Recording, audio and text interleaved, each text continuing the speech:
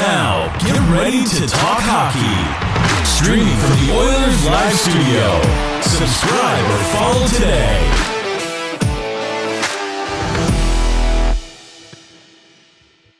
Hey everyone, it's Michael here from the Heavy Hockey Podcast, back with another episode, episode two of the 2021 season uh, for the Edmonton Oilers uh, of the Heavy Hockey Pod, and, and I've got as my guest uh, host of Inside Sports on 630 CHED and uh, host of uh, Overtime Open Line, uh, Mr. Reid Wilkins. Thanks and welcome to the show. Hey, thanks for having me on. It's a pleasure to talk to you. I uh, I enjoy your your backdrop. You got some good Oilers stuff there. The collection of hats is. I actually haven't seen all those hats. Um, I definitely don't think I've seen the black one with the orange outlined oil drop. That's an interesting one. Not that I'm always up on Oilers merch. that's a, that's a that's a nice selection there. Pretty good. That's a uh, a source for sports. Uh, great Edmonton uh, sporting goods store. Uh, always one. So I'm based in Halifax now, and and uh, that um, I every time I'm in Edmonton, that's the sporting store to go to. I I tell you that maybe one of the best sports stores in all of Western Canada, and and so great place to get some Oilers merchandise. Well, they don't for... they don't sponsor the show, but that's okay. Well, thanks for staying up late. I, I didn't realize I was making you go so late. Oh yeah. No, uh, I... By if you were in Halifax, I could have I could have tried to do something earlier in the day. So, no, geez, I feel bad now. This is a great time for me, and and now I've got to kind of train myself for the late night games, right? I mean, this is this is really uh, game time for me most nights uh, when the Oilers get on the air, and and so um, you know I just uh, I've got to start training for the late nights and and get used to it. Yeah, it makes quite a time uh, change. Makes different. Yeah, yeah, it's three hours. I just moved out here uh, beginning of November. And um, so I'm just starting to get used to some of the late night games. I used to, uh, I, I love to play hockey myself. I used to go out play a game and then come back and watch the PVR. And uh, I don't know if you if you've ever PVR'd a game. I mean, you generally are, are working them. I, I would suspect. Oh yeah, not a, not an Oilers. I, I've PVR'd games uh, you want or, or, or VHS games in the past. Speaking of which, I yeah. remember uh, in 1996 there was the World Cup of Hockey. Yes. And Canada was playing Sweden in a semifinal and it was the same night Def Leppard was on their slang tour and was playing at Northlands Coliseum, or I don't, I don't know if it was Skyreach at the time.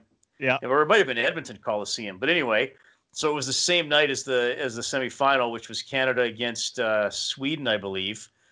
And I taped the game and on VHS, which I know probably some of your audience doesn't even know what that is. Yeah. So I uh, and I was gonna watch it when I got home after the concert. So I went with my buddy. We went to the concert. I mean, there's no cell phones. There's no way. Like all you had to do was not turn on the radio or not yeah. turn on the TV, and you wouldn't. There's no way you would know the score. So I uh, I get home and uh, I called my mom and dad to let them know I was home, and they knew I was taping the game. And of course, uh, my mom has to say, "How long did you set the recording for?" And I was like, I don't know, like five hours. She said, Oh, you missed it. So I'm like, okay, great. Now I know it was double oh, overtime. No, but yeah. I didn't. I taped it long enough. But it took the whole suspense out of watching the whole game because I knew, okay, this game's going to wind up going to overtime. Uh, so I think I just kind of found overtime and, and watched that instead of because was that when Niedermayer scored on the end to end rush? I Jeez, can't remember I if that was the game winner. Anyway, sorry, I, inter- I interrupted your story about no, no, that's that's all right. I I, uh, I, all I was going to say actually to finish off that was, um, you know, the nice thing was was when I was in Alberta and playing a late night game and PVRing. Of course, you're at hockey, so you're with hockey fans, and the first thing they do when they get into the dressing room now is look on the phone, and somebody inevitably blurts out the yeah Oilers lost or won, more likely lost at this point right now.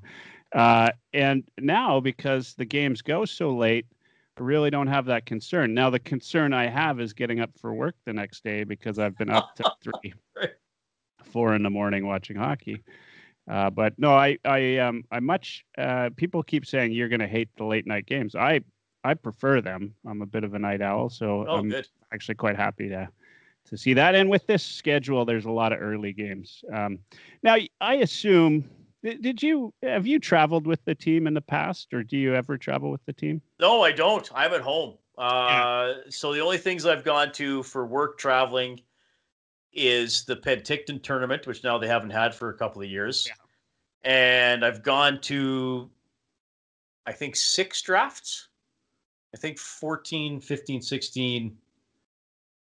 I think that's right. 14, 15, 16, 17, 18, 19 I went to because 20 was obviously a virtual draft that was supposed Yeah. to be in Montreal. Yeah, so the yeah, because I was there when Leon was drafted.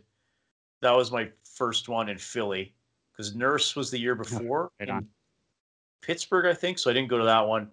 And then obviously I was at the McDavid one, and I don't even like I don't even know where the hell it was. Like it's not Miami, it's not Fort Lauderdale. It's like get on this shuttle bus for forty minutes yeah, and you get dropped off across from a, a, a park, like a like not a park where kids play on swings or and there's ball diamonds, like a, pres- a res- like a a preserved area, you know, like a Yeah. provincial park, like woods. And it's like, okay, so now we're in Sunrise, Florida. I don't know what that is, and uh, so it's like, hey, there's there's the woodland creature area over there. Like I expect to see Winnie the Pooh coming out, like who's grew up Yeah. to me, and then uh, I want some honey, and then it's like, okay, well here's an NHL rink. Let's let's go inside, and so that's that was where that draft was. It was like Florida nowhere trip? near anything. Yeah. Uh, we were in Miami for about an hour because the Oilers were staying there, and Chiarelli did an availability. So me and um, I think Joanne Ireland and Tychkowski got a car, and you know, of course, it was some insane amount to go from Fort Lauderdale to Miami, Yeah. go hold a mic for 15 minutes, and uh, go back up to Fort Lauderdale. So that's I, I've had people like, "Have you been to Miami?" I was like, "Well." Technically, I've been in the city of Miami for about for about half an hour in one hotel and on some highway. Uh, yeah. So anyway, that's my that's my traveling experience. Not much. Penticton and uh, and the drafts. I, I don't I don't travel, and I don't know if I would like to. I, I think that would take a lot out of me. I mean, it'd be Yeah. neat to go to all the other rinks, but my my job is it's not necessary to travel, so it's not something I really think that I should be doing. Yeah. Now you um it's it's been a while since I've been uh, in Edmonton. Were you doing overtime in a pub or a, a bar at any point or was it always uh, in studio? We've uh, well, we've done it in Studio 99, which is Yeah. a, Oh yeah. which is a restaurant. Um, so that's the only that's the only occasion. So yeah, we've done it in when we did it in the old building. We were in uh, the the fishbowl we called it. So it was at the bottom of one of the the stairs and escalators to come down to the lower level, and the Oilers dressing room was just you know maybe 60 Okay, I'm going to hold you on that because uh, you know Lars Callieou. Yes, of course. He's yeah, very funny. that? yeah, he is actually. He and I have known each other uh, since 1992. Oh, sweet. Uh, yeah, we've been, uh, you know, so I knew him before he ever saw you at the old arena, and you waved at him. Do you? Um, was that where you would have been broadcasting from when you? His favorite memory on Twitter, he said today was uh, the very last game of which I was at. By the way, I didn't even realize he was there, but I was at that game at. Uh, was it? Was it Rexall at the time? They, I Yes, think it was still the last Rexall. game it was still yeah, Rexall. the last, yeah. Yeah. So you would have been in Well, the but well, I know assume. Lars. Like I don't like not as well as you do, but I know him to go up and talk to him, and I've seen him do comedy a couple times, and sort of. Uh, there's kind of one circle of friends I think that sort of overlaps, so I definitely know him. I, I fortunately I don't remember waving to him, but I definitely don't see why I wouldn't. yeah, yeah. Uh, yeah, I, I just feel bad. Like I think Lars is just flattering me a little bit because he's kind to me, but I, I doubt that's his actual favorite memory of an Oilers game. I mean, they, they still they still win even when they were bad. They would still win about a third of their games. Like you might see some something kind of along the way, but that's kind of large to say that. I was uh, I was a season ticket holder the year after they went uh, to the playoffs at, at Rogers. Uh, so I, you know, I was I was pretty darn excited. I, you know, they had they went to the playoffs. They had Talbot and Yeah. and I and I uh, and they started off that year uh, after Uh, that was when uh, McDavid had the hat trick against the Flames opening night. Yeah, but then they lost the next four games. Yeah, badly. In a, yeah, Three or four, anyway.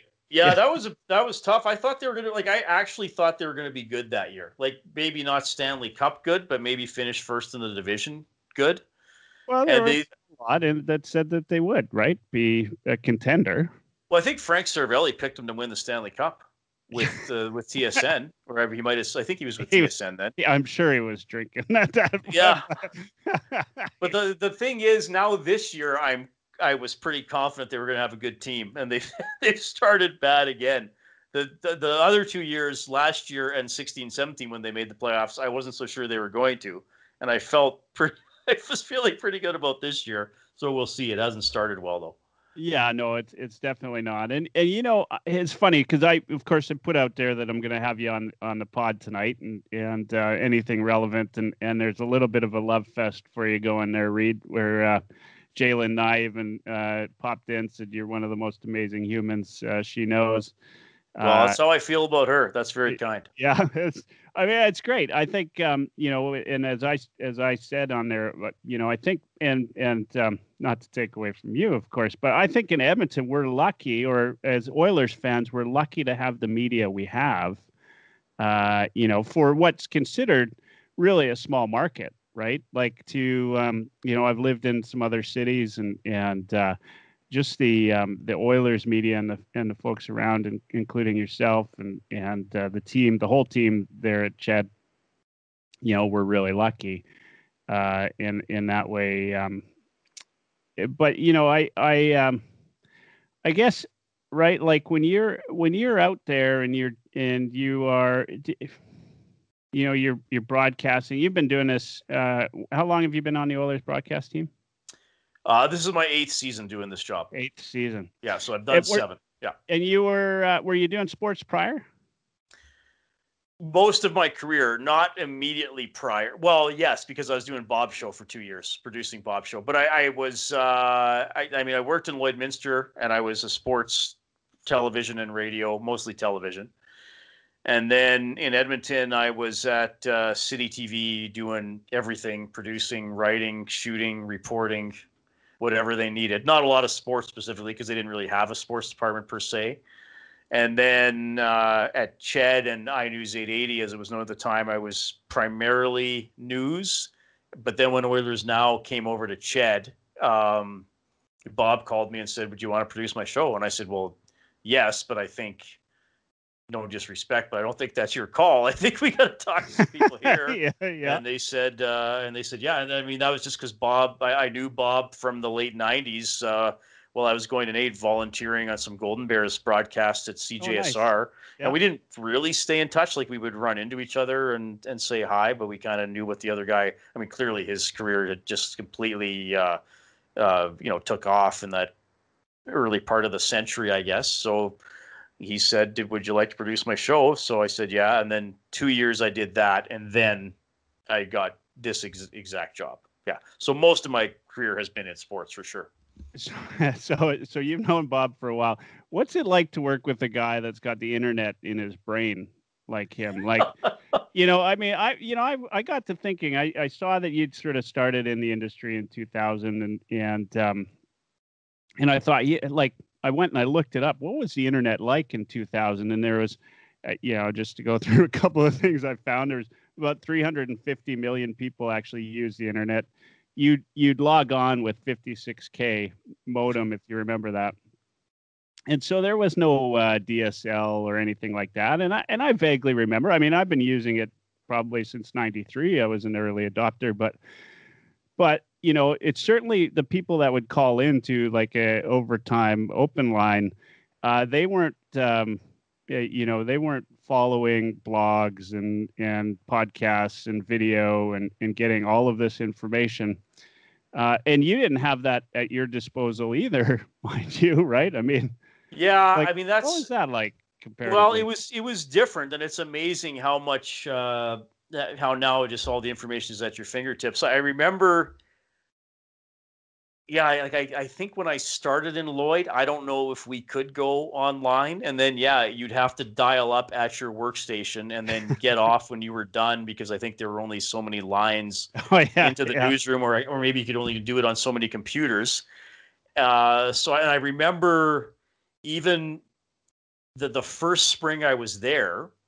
So the Lloyd Blazers had a really good AJHL team, but they lost in the North Final to Fort McMurray, who then hosted the Royal Bank Cup and won it. So once they won their region, they could add a third goaltender to their roster off somebody that was from their region. So they actually added Dustin Schwartz off the Blazers, oh, nice. who's now yeah. the Oilers goalie coach. Uh, now I didn't get to know Dustin very well there because I, I got there during the during the playoffs, but uh, it's kind of an interesting connection I have with him. But I can remember when the Royal Bank Cup was in Fort McMurray and I was doing morning radio, I had to go check the faxes that had come in overnight for the scores because they faxed the game sheets. uh, you know, it wasn't just like log on to the website. Okay, there, there they are. So I remember doing that, and I also remember um, we had one email address, news at cksa.com. CKSA. yeah. So, every, so everybody shared this email address. So you wouldn't use it very much, but every once in a while someone would say, we'll email you, or you might, I don't know. So I remember once one, one guy we were working with started using the work email to sign up for all these re- rewards programs, like with Hudson Bay and, yeah. you know, uh, Mark's Work Wearhouse. Because one day my, my buddy and I, uh, who I actually went to NAIT with, and then we worked together in Lloyd for a few years, like he needed to check that we were in on a weekend and he's like, I got to check the work email for something. And then we're like, what are who's signing up for? all, Like somebody's this guy's using the work. And then and then to, to top it off, this the same individual signed up for a uh, 48 hour weight loss program using yeah. the work email. Yeah. And I, it was called 48 hour diet. And I was like, first of all, do you allow profanity on this? Because I do. Oh, this, oh, yeah. this, no, this works better if I use the actual word. So, yeah. so my, so my, I'm like, what is this? Like, he signed up for this weight loss program, and we're reading this thing, and it's like, okay, you're gonna get this delivered to your house, and then all of a sudden, my my buddy's like, oh my god, I've I've heard about this. It's just some liquid you like a drink you order, and you drink it Friday night, and it just makes you shit all weekend, and that's how yeah, you yeah. lose weight. And then, of course, you know, your body gets back to normal, and then you got to drink the shitting juice again for the next weekend. so so we had to tell this guy, like, don't sign up for all this stuff using the word email. A, like it's taking up space, and B, it's like maybe, you know, this is something you're doing on your on yeah, your on your own time. Personal, yeah. But you asked about Bob. Uh, yeah, I mean, Bob is his mind is incredible. Like I, he's obviously got some sort of a, a just just a natural gift for not just remembering stuff, but so many details and connections and histories of players and all that kind of stuff. So it's actually um, it's it's nice to work with that. I got to remind myself. I, I, think especially more so the first couple years I was doing it, where it's like, okay, don't just rely on Bob. Like you got to have you know your own prep and yeah, contribute yeah. so don't just be like ah oh, i got oh my god i got five extra minutes oh i'll just ask bob random stuff but yeah, he's uh, and the, and the interesting thing about Bob is, and I think for most people who uh, are are really successful like he is, like what what you hear on air is basically what you get in in real life. I mean, that's Bob. I mean, you have to be. I think to be a talk show host, you have to be fairly genuine most of the time. I mean, clearly you're going to be a little different, and there's presentation uh, involved. So, you know, like some. I remember somebody asked me that. It's like. Uh, it's, some actually, you know, not to criticize Bob, but we all have our detractors. He said, "Oh, somebody, I can't stand Bob. Like, what's he like in real life?" I said, "Well, I said if you can't stand him on air, I'm not going to bother introducing to him. You probably yeah, wouldn't yeah. like him in person either. That's, you know, I mean, that's what he's like. That's who he is. But that's why his show works, right?" Yeah, you know, eh, um, I read something the other day that uh, I wasn't quite sure how I felt about it, and uh, kind of brings it to mind. It's it's like if if uh, if everybody likes you, you're doing something wrong, right? Well, I think that's yeah, I think that's true. Yeah, and and I think in your job, right? I, like I think that's so valuable, right? Um, you know, I mean, nobody made it more clear than Howard Stern, right? Like, right. you know, I mean, that's kind of I think when you know people realize like, hey, you need to have an opinion, right, to be good at be good at this job and and and do what you do.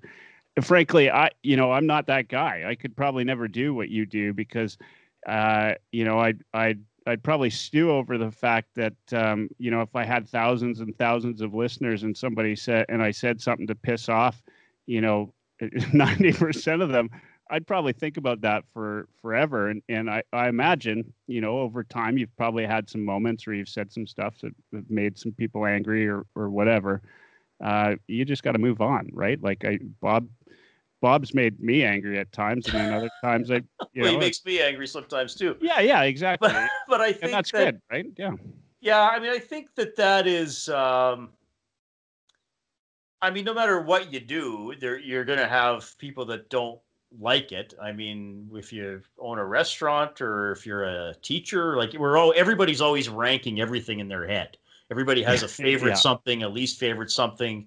I like this or I, or, or I don't like this. I, I think that uh, I, I- feel like I've always been relatively uh, thick-skinned, and then I think I had to just get a little thicker skin, probably just through the first year of doing it, and then yeah, you just realize it. Like it's sometimes it just doesn't matter. Like people just hate you, or they hate your station, or they hate your colleague, but they think it's you that said it. So like you can't. It, it, I I have just found that the, the the thing for me is just generally not to engage because it's, it's it, I honestly think it's a waste of time to argue with people online or Yeah. on a, on a text or or whatever. Uh, like occasionally I might say something back to somebody, but it's usually more sarcastic or dismissive. Just kind of like, okay, buddy, like thanks, I read this now, go Yeah. away. You know, like one guy when, when we were going through the thing with the the uh, the double E football team name change in the summer. Oh, like yes. this guy just several days in a row like you, know like you're a little bitch. You're you're a you know you're a politically correct. You're i you know i hate you. Typical radio host like just over and over again you know it's just like okay whatever. And then so finally one night like he, he, texted probably fi- every five minutes so finally i wrote back I was like hey man thanks for sticking around for the whole hour like that's awesome yeah, and yeah. then, and then he did. He really didn't like that. He really didn't like that. But sometimes you're just gonna be like, okay, like I'm not gonna argue with you. Like, good for you. Like, bravo. yeah. So it doesn't happen very the- often I, with I me. will. so I will say this to be totally candid. The the one thing that bugs me some sometimes, uh, is is if I if and, and generally it would be something that somebody would text to the show because I really don't look at a lot on Twitter or or other stuff like that. But if somebody is is criticizing me or unhappy with me for something that I know I didn't say, you know, Oh, or yeah. or the- or where they've under like that that bug because like okay, you don't like me, you don't like me, but well, you're you're basing this criticism of me or this hatred of me on something that's not even true. But I also have had to set, accept like okay, you're not going to get through to that person. They're not going to read the text if I write a text back saying, "Oh, hey, I didn't say that." Like you're they're already done with you, you know. So you just got to be like, "All right, fine." You know, maybe a week from now they'll think I said something brilliant that I didn't actually say, and yeah, then- yeah. It they'll works be both ways. then right? they'll be happy again. But yeah, anyway, I can't remember I, what uh, your original question was, but I, I, I don't know either. I, you know, there was, uh, I have to laugh because uh, you've been doing uh, overtime. I remember when, um, like John Short and, and, uh, and those guys were doing it back uh, growing up in Edmonton. And, and my dad, uh, and he's passed away, good man. Um, uh, you know, I loved him obviously. Uh, but he was, he was a drinker, like an evening drinker. And, uh, he would, oh, he was so embarrassing. He'd call in. you know, he was the guy that would call in, and your screener would never let him through, right? Like, oh, okay. oh man, I I do recall him being on once or twice, and to, and I I believe it was John Short, and just totally frustrating him.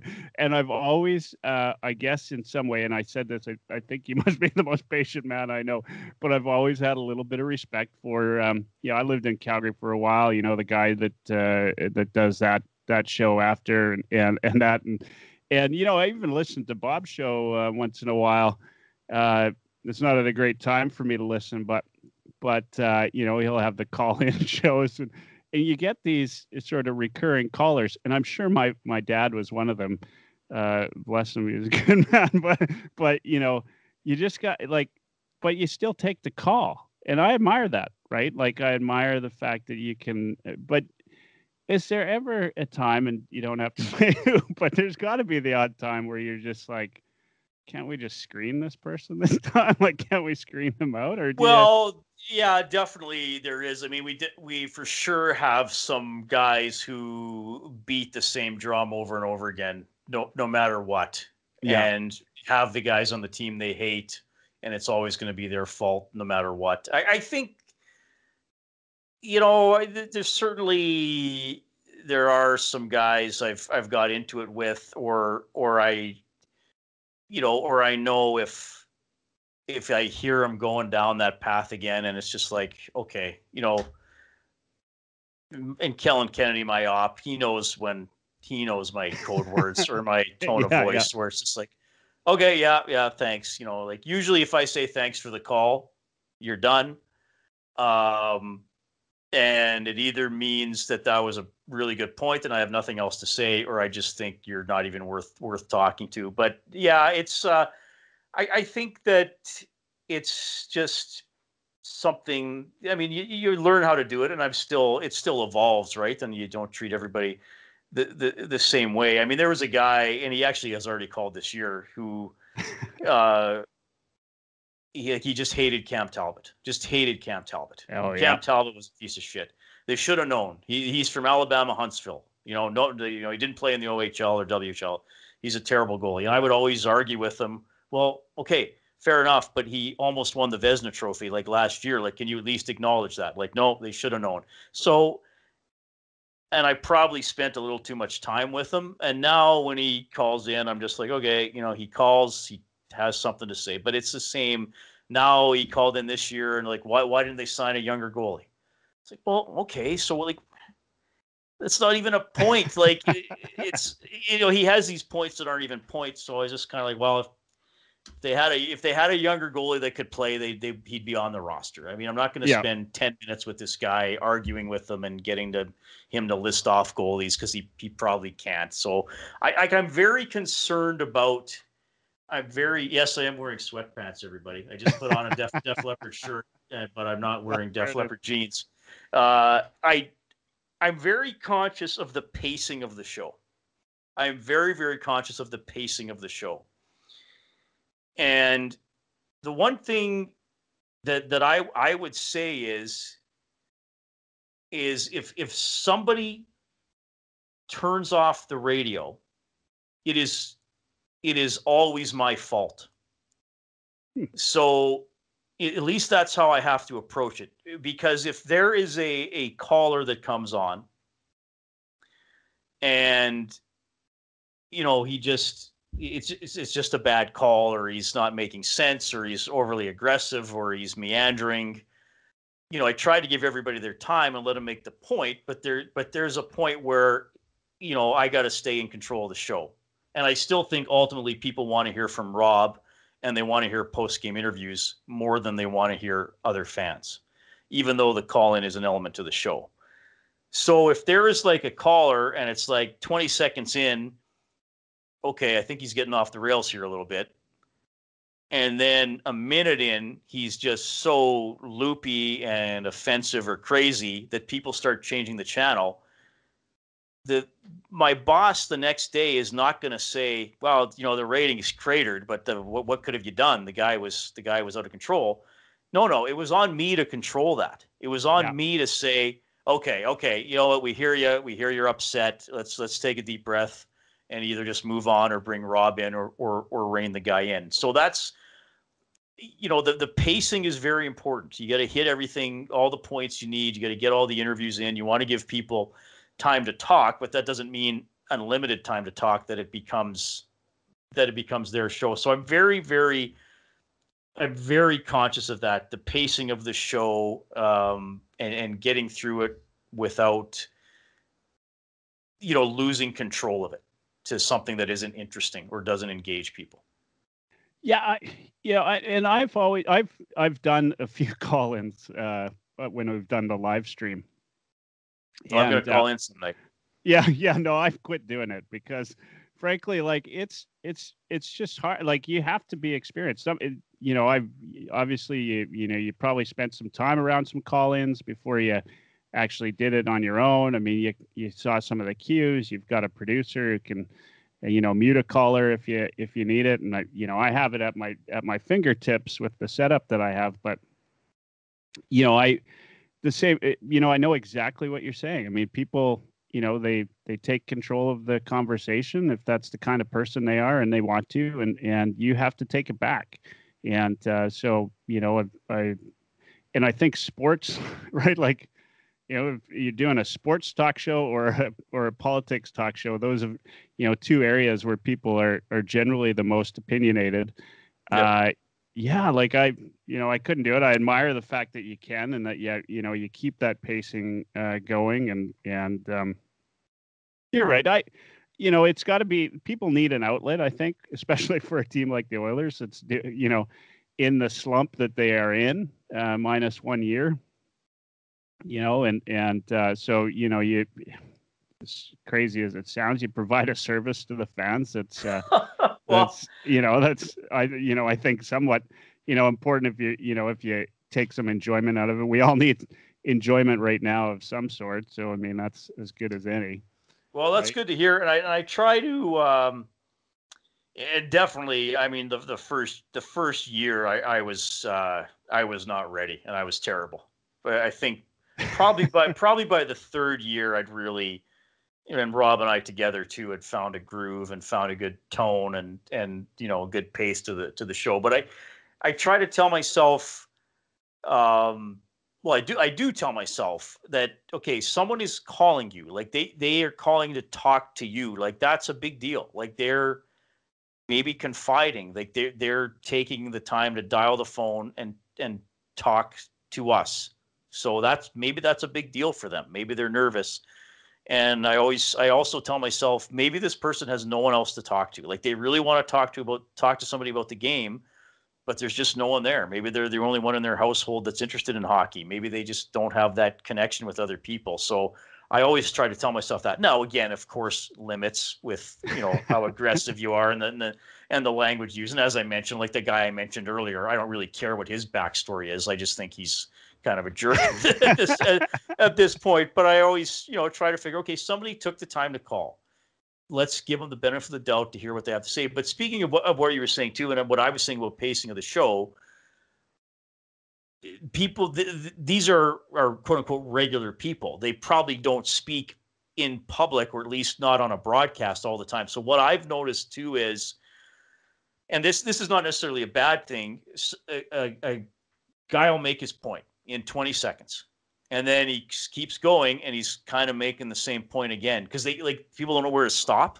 And i think that's nerves and just not used to actually holy shit i'm on the radio right? Yeah. there's that point where it's okay. So that's where i worry too okay okay he's repeating himself. I'm gonna i'm gonna just jump in and say okay yeah we hear you and then then we can kind of address that whatever his yeah. point is.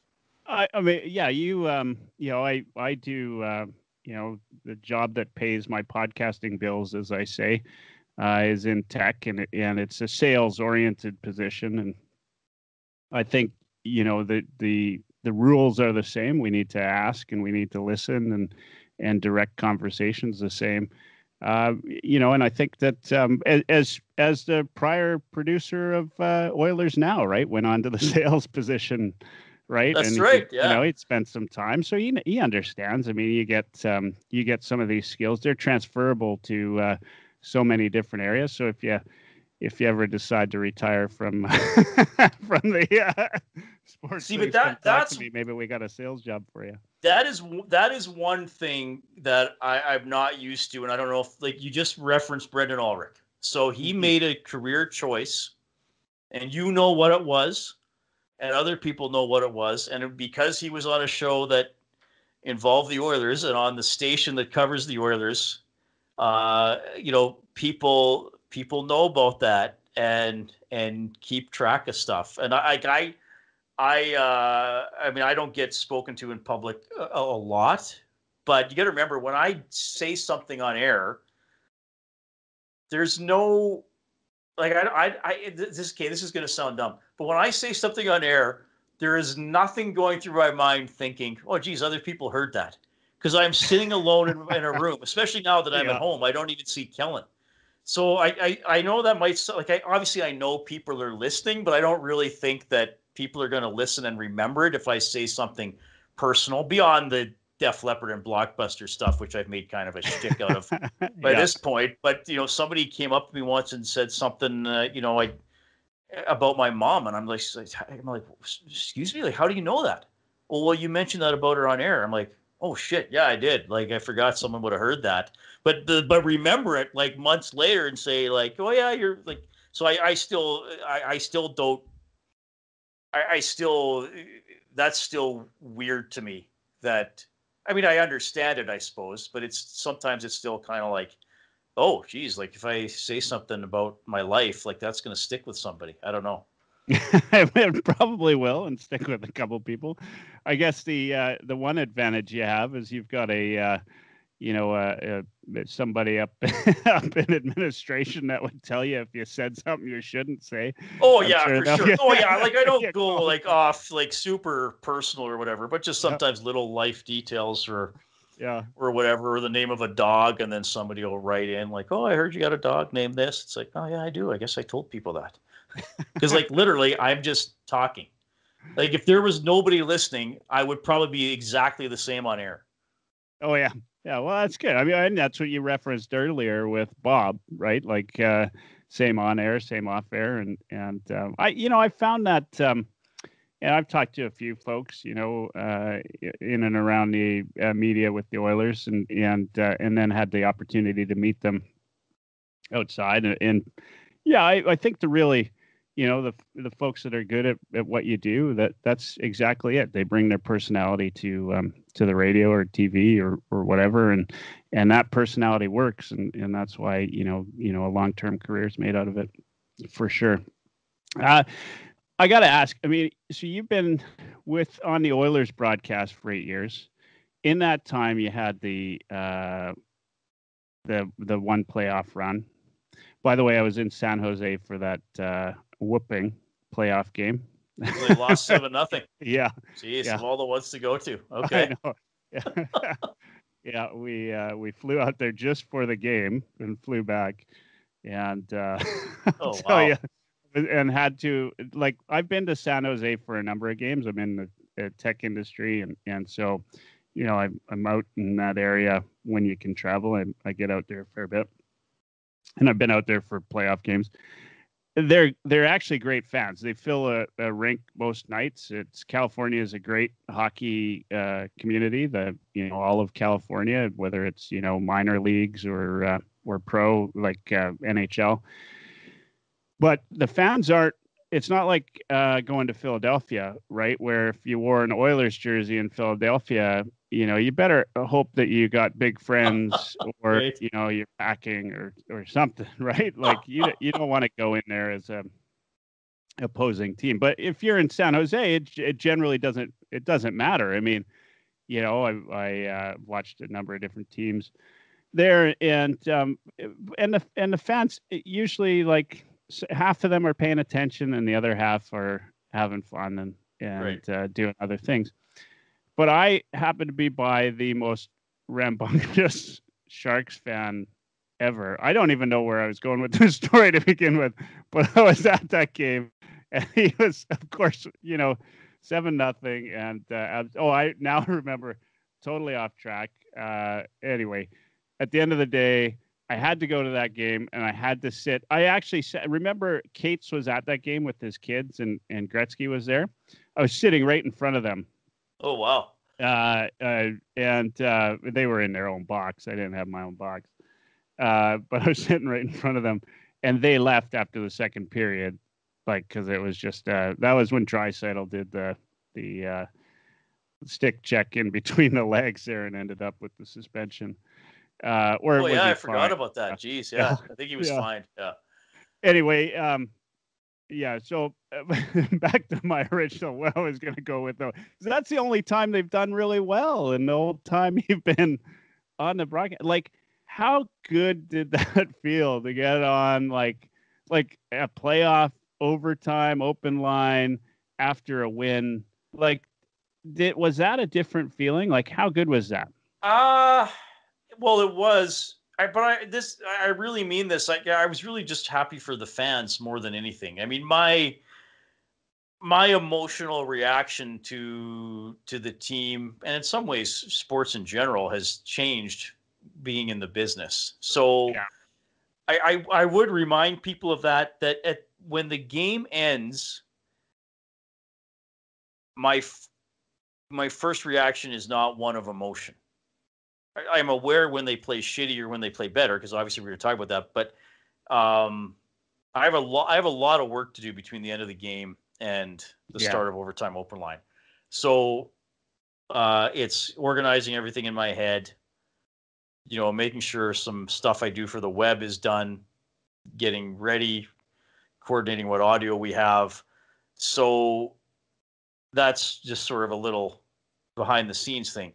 But I, I think it just it was just nice that people were encouraged and it felt like even that year, okay, they're probably not good enough to win the Stanley Cup, but maybe, you know, maybe we'll see yeah. how far they can go. But I, I, was really just just happy for the fans, and it was nice to be hearing from people who'd been beaten down for so long, like, hey, another round, like maybe we're gonna go to the cup, and even even having the controversy of the goalie interference and blowing that three goal lead, like at least it was in the playoffs, you know, like at least it was really important. It wasn't like well, they're already a last place team. Of course, they're going to blow a three point, a three goal lead in the last four minutes and lose it overtime.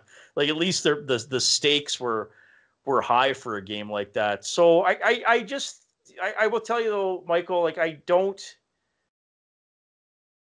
I, I really don't tie how I feel about my job or my own performance into the quality of the team. Like I, I just couldn't do that. Maybe some broadcasters do that. I couldn't do that because I think if you were covering a bad team, I'd, I'd go crazy. And if the team wins, it, it had, literally has nothing to do with me or Rob or anybody on air, like nothing. Yeah. So why am I like I I still remember the year. Uh, so the when we were talking about they they started the year after they made the playoffs really poorly. And one of the games they won was they they beat New Jersey, I think six four and the fans were happy. They scored. Okay, maybe they're getting back on track. It's still early. I still remember that.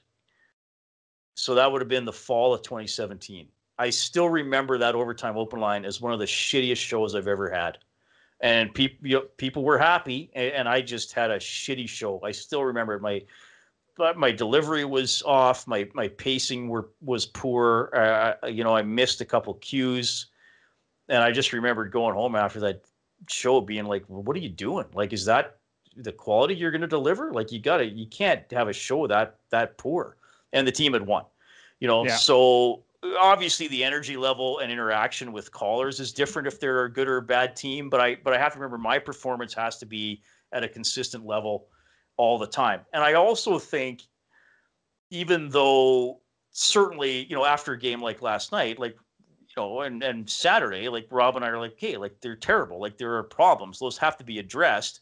But I also think now this is my approach to the job. So if other people approach it differently, I'm not saying that that's wrong and, and I'm right. I'm just saying my approach to the job and what I think works for me and the type of show I want to present is I don't I don't think that people want to tune in and hear somebody as emotional or more emotional than they are. I think they want to hear analysis and thoughtfulness and yeah, maybe some emotion and, and maybe some anger. But I just think if I had been doing this for seven years and four games and flipping out one way or the other based on the result, I really think that would tire the audience out after a while.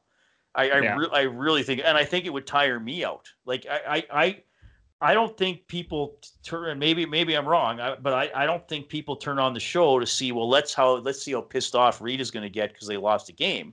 I think they're tuning in to say like, okay, they lost. Let's hear what these guys have to say about it. Like let's let's hear them break it down. I, would sooner I, would sooner present something hopefully intelligent and analytical than just you know frenzied and my feelings are hurt because the team lost. Yeah, I'd suggest to you that we've seen that media personality come to Edmonton and fail a couple of times. You know, the folks that are a little bit maybe too emotional, especially covering, you know, what is, you know, has been an underperforming team for, you know, the greater part of a decade and and a little bit longer, right? And so if you get, you know, if you get too emotional about it, you know, you're certainly not going to win over the fans, right? I mean, there has to be I think you have to be even keel, right? You can't be too excited if they win because well, we know they you know, they might have a, a trail of losses coming right after that. Yeah. Let's uh let's switch gears. Let's talk a little bit about Yeah, sorry if I'm talking and too uh, much. no, yeah, yeah. yeah. Let's talk. Let's chat a little bit about the hockey. I mean, I, I all of this stuff has been said. I, I you know, I'm kind of curious uh, to get your kind of feel for it, and and uh, I listened to your show tonight. You know, a good show, and and uh, so it, there's a couple folks that um, you had made some suggestions. Um, at Dean's Thumbs, I think on on Twitter, and actually he's a, um, a Halifax guy as well. There's a great. Uh, I don't know if you know the Nova Scotia Oilers used to play here in the 80s. Absolutely, yeah. And uh, by the way, uh, if anybody's listening and they have a jersey that they can get to me, uh, I'd really love one. I want That's one awesome. for for the back, but um, I shouldn't say if anybody's listening, but to the listeners out in the ether. Uh, anyway, uh, he he asked, you know, what's your thought on, and and I, you know, I can guess your answer on this, but having Puljärvi ride it out on night with uh, McDavid's line. I, I mean, uh, you know, I've listened to most of uh, Tippett's um, commentary. I, I don't know that I've heard anybody ask that question uh, directly, but um, you know, what's your thought on that? Is is this going to happen at all anytime soon? Probably not, and I don't think it should. I mean, I'm just, I, I just, like, I, like, I think it's at the point, like, what's the fascination with this kid? You know, like, Yeah. let him play on the third line. Let him learn how to make a five foot pass that's not a slap shot to a teammate. And quit tweeting about expected goals because his actual goals is zero. Okay. Those are the ones that count.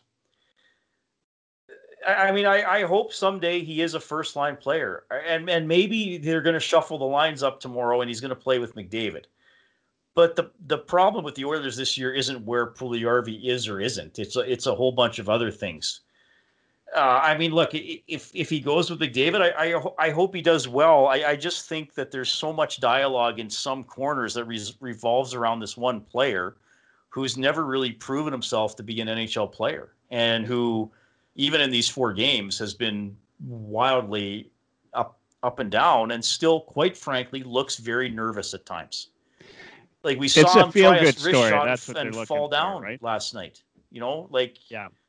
that doesn't happen in, in, in the NHL. But he's, you know, he's trying to body check and he's keeping some plays alive and he's made some good passes. Uh, I just don't know if putting him with with McDavid um, just instantly saves the team. I mean, there has to be more results from what he's doing. Yeah. Yeah, yeah, one hundred percent. I agree with that. I, I, I think that um, I don't know if it was exactly what I'd say, but uh, I, I think people want a feel good story, right? Like they like. Well, the kid. sure, and the it's right? and the Yeah. person who's not getting. I mean, it's the backup quarterback syndrome, right? And Yeah. look, do I do I think Ryan McLeod should have been sent to the minors? No, I would have liked to see him play in the NHL, but I'm also not, you know, in the camp where it's like, oh yeah, Ryan McLeod will come in and fix the team. like you, you know, when you're losing, anything looks like a good solution, where it's often not that simple. Yeah. Now here's the next one uh, that was asked, um, which which you know everybody's talked about is the dry line 93 29 56. Uh, Tippett was asked about it as everybody knew. I mean, it, you know, and he knew he knew he was going to get asked. He kind of glazed over it, I thought, right? Yeah. Like he he kind of said, "Yeah, you know, I'm trying lots of things and move on." Uh, if, I mean, is there here one one person last night suggested, well, maybe McDavid said something like he doesn't want to play with, you know, shit players, let's say, right? Um, you know, I mean, maybe he's put some demands, and we we know, you know, I, or at least I think we know that Gretzky had some demands like that when he was a player, right? Um, you know, there was some talk of him talking to coaches. McDavid's certainly worthy of having that conversation with a coach. I mean, he's earned it. He's he's just that type of player. Is that one possibility, or or what do you think the reason for? Eh, we haven't seen them together since February of 20, 2020, right? I mean, I the the Nugent Hopkins Draisaitl Yamamoto line. Yeah. Yes, and I and I think that line should be together because it's proven to be good. Yeah, uh, and I think maybe you give some other guys you signed a chance to to play with McDavid. I know why they're doing it, I've, and I'm sure McDavid likes playing with Nugent Hopkins. I'm not sure if their styles gel as much because McDavid scores more off the rush, and I think Nuge scores more off the cycle. Though they they've obviously had some good games together. Yeah, I mean, I, I don't know if McDavid specifically says, I, I want to play with this guy, and that's the only way it is. But certainly coaches will talk to players and say, uh, okay, you know, how, how have you felt about the times you've been on the ice? I mean, it's like, it's like a boss might go to the next in command and say, okay, we're promoting somebody. What's your experience with these four players? The second in command doesn't get the decision, but the boss is, is going to listen because yeah. he, he, knows he's in that spot. That's kind of what I, I would think is probably likely. I don't think McDavid has made demands or made refusals to play with other players. I, I think he probably likes playing with Nuge because he's better than most other line mates he he could have. It, it's it's tough because they're looking for somebody else to step up, whether it's Puljujarvi, Turris, or Kahun. Uh, I mean, Kassian's only had one good game out of three, really. Um, you know, Archibald hasn't uh, hasn't scored, and we're at the point where, okay, four games in is still a small sample size, but it's still like okay, you should have a depth goal besides Devin Shore shorthanded when Montreal didn't care about the game at that point. You know, yeah. you know, it just made a bad mistake. So that's, you know, it, it is, and the whole line combination thing. I I do think we talk about it eh, a little too much sometimes because I, I think it's for the Oilers it's more how they're playing, not who's playing with who. But I but I am ready to see the Draisaitl, Nugent Hopkins, Yamamoto line reunited because it was such a weapon last year, and I think you have to give them a chance to establish some momentum, and maybe that pulls other guys along. Yeah, yeah, no, I I would love to see the the line reunited. I so here you know it's the follow up to that, and uh, Ethan uh, is the fellow's name that asked, and and um, and I don't think he is, but uh, you think at at some point, like Tippett's on the hot seat at all uh, this year if this continues on, or no, not or, unless they're like two and yeah. fifteen or something like that. Yeah, yeah, I don't, I don't, I can't see that, and I don't think they will be two. I I think it would have to be just a complete disaster, and I also have to think. you Remember, I, I think that the, I mean, certainly the coach determines the line combinations, but I think he and Holland have a plan for how they want McDavid and Draisaitl deployed. Yeah. So I don't think that it's like, oh, like he split those guys up, and Holland was like, oh, I can't believe he. Like, I, I think they reached a point last year where it's like, if we're going to be good, you guys are on separate lines, and when it's let us fill in the uh, the other line. So, yeah, I mean, I I don't want to talk about firing a coach. I mean, you can't just go down that road again. Not this team, not this team, not anytime soon. I, I, I hope anyway, and and uh, they've certainly. I think at that point, you know, if you go through another coach, then you start worrying about, um, you know, whether McDavid starts to ask to be. Yeah, because then there's yeah. so much instability. It's like yeah. okay, you know, like you hope that Todd McLellan was going to be his coach for half his career. Yeah, you know, with you know, one of the things that I'm kind of curious about, and, maybe you have some insight in it, or maybe you don't, but uh, obviously the this is a different season. Everything about it's different. Like, how are they? What are they doing in terms of preparing for games? Right? I mean, they're not getting the same practice time in. No. Are they? Have they been practicing at all outside of uh, yet? Or um, I know they're doing a they, lot of video that's been talked about. Like, do you know? They practiced. Um they had an optional practice Friday that almost everybody was on the ice for. Sunday was off.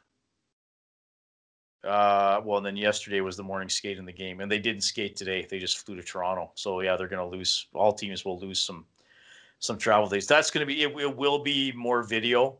You know, yeah. it will be probably maybe going out there for an optional skate and, and going hard for a while and getting off. And that that that that and no preseason games will have an impact because a lot of the stuff you're working on is just hypothetical, but you haven't actually had a lot of chances to execute it. Yeah. The uh the one thing that I I was um well here first first before that watching the game last night is that McDavid's worst game ever? Like, I mean, that was yeah, that it was would be on a short list. You know that yeah. that neither game was was very good, and probably for Nuge too. That it yeah. just wasn't wasn't very good. I mean, Nuge is uh, you know he's flubbed a couple passes, obviously that have led the chances against. And McDavid, I mean, he took that game over to such an extent against the Canucks that I wondered if that was going to happen last night. Whereas like, okay, they beat us five one. I I am not letting this this happened. But also maybe Montreal is better than I thought. I mean, you look at that defense now after playing those two games. It's like, yeah, they're they could do a little bit of everything. That's pretty good. But I mean, what McDavid's without a point in is it uh, three of the first? No, he got an assist on Koekkoek's goal, I think. Anyway, I mean, yeah, he got an assist on. So he's still him being held pointless two out of four is unusual. It is unusual. I I I, I remember a couple of years ago. It, he'd never gone like more than two games without a point and uh, and it's not you know it's not surprising even just the minutes he plays you'd expect you know if the Oilers are on the board that he'll he'll get in. So one of the thoughts which leads me to this, you know, lines three and four. You know, I listen to you, listen to Stauffer, you know, everybody, uh, guys on TSN, Lowetide. Everybody always talks about lines three and four specifically on the Oilers as having one job, right? right. Keep the puck out of the net. Is eh, do you think at some at some level maybe that's a bit of a problem? Do you know what I mean? Uh, yes, because like, I, I think line three should be able to score. That's right, right. And quite frankly, if you look at Boston and St. Louis, line fours have been able to score too. Yeah. So, eh, so but, but is that, start is with that line coaching staff saying that? Like, are they say are they? Do you think they're saying the same message, like keep the puck out of the net, or are they? No, I think they want them to attack, yeah. especially the Turris, Puljujarvi, and whoever line. I think they expect that line to attack if they can. I, I know, uh, I think Turris has a lot of D zone starts and stuff like that, but I, I just think that's because that's, you know, not one of the top two lines that they would yeah. say for the offensive zone. But no, I, I maybe with your fourth line, you would say, okay, just be even all year and play hard minutes and kill penalties. But I, I think to be good in the NHL this these days, you need line three to score at least somewhat. And again, to get back like by four by four games into the season, I would have hoped you know at least Turris would. I mean, Turris doesn't have a point, right?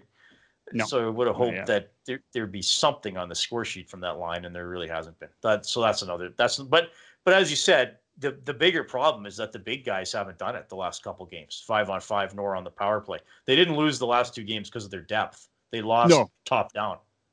In fact, I you know, and I don't disagree with how Tippett said it. They had they had some good compete last game, right? And they just you know that top line didn't do what they were supposed to do, uh, and that you know I I know you know people will want to blame it on Koskinen. Uh, I think that's that's a partial problem too. I, I I think you know in in a number of the years the Oilers have had goalies that never made the big save when you needed it right? And uh, it, you know, I don't know if you play. Uh, I'd love, I'd love to get. Um, do you play, by the way? Do you play hockey? Much? No, not for years. No, okay. No. So you know, Just I like very poorly. I play a lot. It's obviously. I I uh, I play a lot, and and uh, it's not obviously the same caliber, but you know I've played some high high caliber games, and and I can tell you if you have a goalie that lets in an easy one, it really lets the wind out of your sails. And if, if they let in a couple easy ones over the course of one or two games, you switch the style of game that you play. And you know, you you start playing, which we just talked about, that game of let's not let the puck go, let's not not even let the puck go to the net, right? Let's right. you know, yeah. let's let's play to make sure they don't get any shots, which in the NHL I just don't think works, right? And um, you know, I think uh, last night, you know, that um, Romanov uh, goal was was pretty darn weak, and uh, you know that's the kind of goal I think just demolishes a team inside. uh, Salo knows everything about that. You know, like um, it changed the way his, you know, his whole career. Yeah. Um, you know, I, I, I want to see, I would like to see uh, something done. Have you, you have any thoughts on on how they're going to approach this goaltending situation? I- any I don't idea know. when Smith is coming back? Well, or- Holland was on with me before the game on Saturday and said he should be back after 12 games, after the 24 days. So, so Grosenick maybe plays one game. He might play a game, might play two if he plays well. But yeah, it's not it's not ideal goaltending wise. Uh, and yeah, that was a bad goal by Koskinen. Probably none of the other goals were bad, but he didn't make enough saves. And it was just weird last night how he didn't know where the puck was for the first 30 minutes of the game. I thought he was a little better in the second half of the second period. But yeah, like he's looking all over and I'm thinking, okay, once or twice, maybe, sure. But every rebound, you have no idea where it's going. Like I'm glad you said that because I thought the same thing when I it's kind of popped out of my head, but I it actually felt like there was something wrong with him, right? Yeah. Like how disoriented he was. So you're right. If you're not, if he's not confident, does that affect the rest of the way that the team plays? Where it's like, oh my God, we can't even give up a, a shot on goal. But they need, like Tippett said, they need to battle harder in the key areas. Like you, they're like it's like they're engaging in battles, but there's not that extra oomph that you need to Yeah. actually win the battle or delay the guy or take his stick away or make sure you're getting the puck out. That's that's what I want to see tomorrow. Is you know, don't just engage in the battle. Like play desperate in the battle. Play like if you don't win it, that's the worst thing that could happen in the game. Yeah. Is is Neal in, uh, gonna try in tomorrow? He might. think? I don't know if he's going to Yeah. draw in tomorrow. Uh, but yeah, Tippett said he and Haas were going on the trip, so that's all I have on Yeah. that. Yeah, I think that would be. Uh, I, I, you know, it's hard to believe that you know he's he seems like a key piece uh, given where he sort of finished the season. But obviously, the power play needs something a little bit different, and, and Neal brings that. And I, you know, I don't. And you're you're closer to the team than obviously most of us. Does he make a, a difference around the team? I mean, he's you know he's a he's a vet, and and he's a guy that you know he's played hard most of his career. Do you notice anything different ever when you got a personality like that around the team? I think a little bit. I think from being in the room last year, you, Smith's more of a kind of an outgoing guy. Mm-hmm. Uh, but I don't think Neal hurt uh, hurts be, just because he's veteran and he can still. I mean, clearly his skating is not where you'd, you'd like it to be, but I still think he can play with a bit of an edge and he understands some of the gamesmanship that's involved. And he actually was pretty good in the playoffs. Yep. And even that goal, um, I think it was the goal Chiasson scored where Neal just barged to the net and he said, "Okay, like." This is a straight line situation. Like I'm going to the net and who's coming with me to clean it up. And that worked, right? So I think, you know, the power play has to be better though, because they still have to shoot. It doesn't matter who's in front of the net if there are no rebounds because they're not shooting. But Yeah. certainly Neal has better touch on those than than Chiasson. I'm just not sure what we're going to get out of Neal because so much of his season last year was the explosion in October and then the injury and then you know you did you kind of didn't really know what you were going to get. Yeah. All right. Yeah, so we're gonna uh, wind down here. I, I'm curious. One last thing, kind of, you know, does this, given what the horses this team has, you know, like obviously, you know, we're missing some on the goaltending. Defense clearly seems to be a bit of a problem. Either it's your pairings right now or whichever. Uh, you know, I'd I'd love to. uh, Yeah, I as I I think I said you before we started recording, people are probably tuning out about this point in the podcast. Uh, but one day I'd love to hear what you think about Larsson. But does this team have what it takes to turn this season around? I mean, outside of the obvious two, Draisaitl and McDavid. I think they do yeah. because, like I said earlier, the players have played better. Mhm. I mean, the, the players have more to give, and we've seen them play better, and we've seen them with more detail. So I, yeah, I, I don't think the season's a write-off. Now, if they go one and three on this road trip and are two and six, then you're already like, geez, they got to win, you know, thirty out of forty-eight to to get in. So that would be Yeah. that would be concerning. But I, I I do think they they they can play better. I mean, that's that's my short answer. They can play better, and I think they will. It just needs to happen sooner rather than later. Four games ago, where did you have them finishing? Second to Calgary. Yeah, to Calgary. Yeah, really. Not to go well, partially out of stubbornness. I didn't pick the Leafs first because so many people were. Yeah, I like I like to make different predictions. I don't have to be as unbiased as you, so I just put Calgary on the bottom every, oh, wow. every single time. Yeah, I'm not oh, sure no, about no, that. I, that's that's yeah, that's yeah, bold of you. Calgary. Uh, I I've uh, you know I probably eat my words on that whole Markstrom thing. I was I was happy that um, Holland didn't end up getting him, but uh, he seems to be doing doing an well, all right. There's no doubt he's good. It's just what it would have done to the salary structure for the Oilers to pay another guy that much. Yeah, and, and we've had great success with those kind of long term uh, big contracts. so, exactly. Yeah. it is nice. I'll tell you this, uh, and we'll. It's nice to have Holland uh, come in and uh, love or hate Chiarelli, and most people, you know, weren't big fans. Most fans weren't big fans. Um, yeah, Holland is is as patient a uh, GM as as you'll ever meet, right? Like he, I I I sat uh, beside him at the Marriott once. Uh, I I was there, uh, you know, a couple years ago. I had the season tickets, and so I would always stay at the Marriott, and and um, I'm sitting in there in the uh, the, lounge there, and he he comes in with a friend and uh, they sit right behind me. So, you know, I had the podcast at the time, so I thought I'd listen in and see if I could hear anything, you know, like, uh, you know, have maybe the odd chance that a podcast gets some breaking news. And, and I'll tell the only thing I took away from it is, uh, I don't, how old is he? He's in his 60s, right? Yeah. Um, of course, Mark Messier's 60. I heard you talking about that the other day or today. Uh, anyway, um, he is sharp. Oh yeah. like, yeah. Like you know, if I'm anything like him when I'm in my 60s, I I, I sure hope I hope to hell that I am because that, he is a smart smart man, and that's that's all I took from that conversation that I eavesdropped on the whole time. But but uh, you know, he was actually um, I think I, I, don't remember the exact gist of it, but he was talking about whether kids should play in college uh, to whoever his friend was um, in oh, the yeah.